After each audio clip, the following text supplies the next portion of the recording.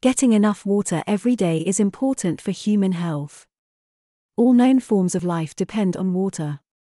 For humans, water consumption is crucial for survival and homeostasis. All life processes happens in water environment.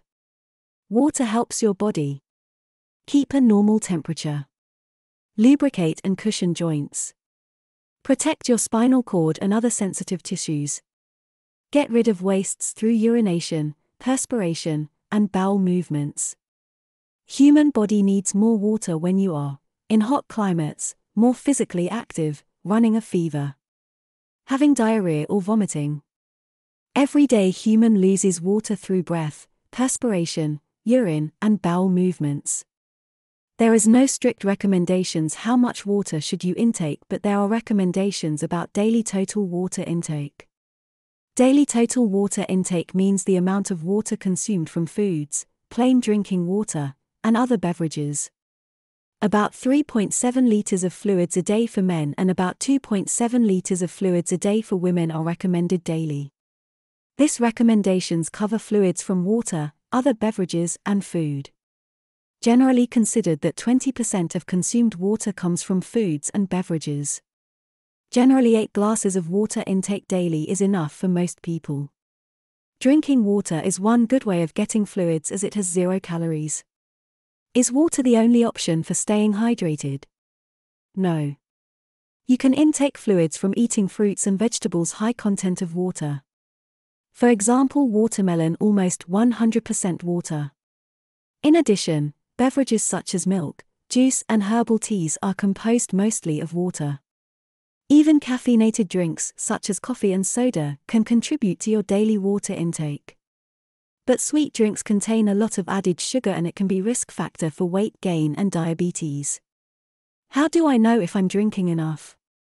Your fluid intake is probably adequate if you rarely feel thirsty and your urine is colorless or light yellow.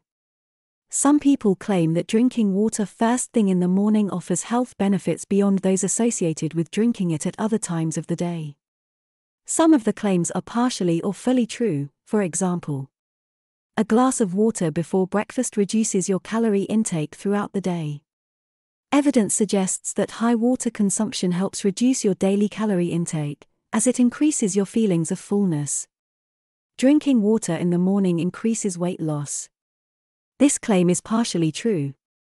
Because relationship between water and weight loss is partly attributed to its thermogenic effect, which refers to the energy required to warm up cold water in the digestive tract after consumption.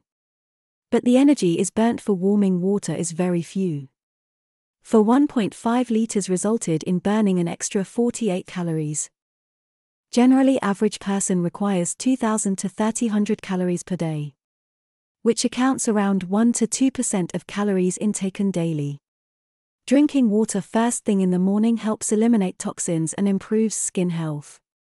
This claim is partially true. Kidneys are the primary regulators of fluid balance, and they do require water to eliminate waste from your bloodstream. Kidneys' capacity to clear toxins from the body is not directly correlated to water intake in the morning, but indirectly it can have some effects.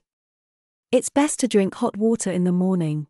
There is no conclusive studies about this claim but with high probability no big difference if person intakes cold or warmer water. Water intake can have positive effect on mood but the studies are not conclusive.